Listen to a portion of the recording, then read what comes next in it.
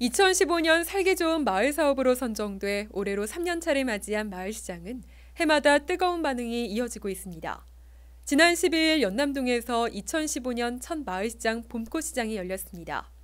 서울 곳곳에 벚꽃이 만개해 많은 시민들이 벚꽃 명소들을 찾았는데요. 봄꽃시장 또한 반응이 굉장히 뜨거웠습니다. 최보세 기자가 전합니다.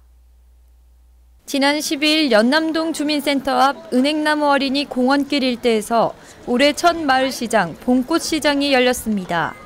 연남동 마을시장은 주민 누구나 참여할 수 있는 자유로운 마을시장으로 따뜻한 만남과 넉넉한 즐거움이 있는 마을 장터라는 컨셉트로 주민들이 소정의 참가비를 내고 참여해 직접 쓰던 물건, 만든 물건, 재배한 작물 등을 사고 팔고 교환하는 마을 시장입니다.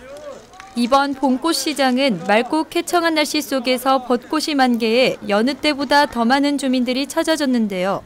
나눔과 공유, 재활용품 교환 판매, 나도 예술가, 창작품 판매 전시, 신나는 잔치 한마당, 공연 퍼포먼스 등 주민이 함께 참여해 체험할 수 있는 프로그램도 진행됐습니다. 해마다 열리는 연남동 마을시장 따뜻한 남쪽은 항상 뜨거운 반응이 이어지고 있습니다. 이번 봄꽃 시장은 벚꽃 만개 시점과 맞물려 더욱 인기가 있었는데요. 여러 종류 꽃들뿐만이 아닌 꽃으로 만든 카드 등 다양한 볼거리가 있었습니다. 마포투데이 최보슬입니다.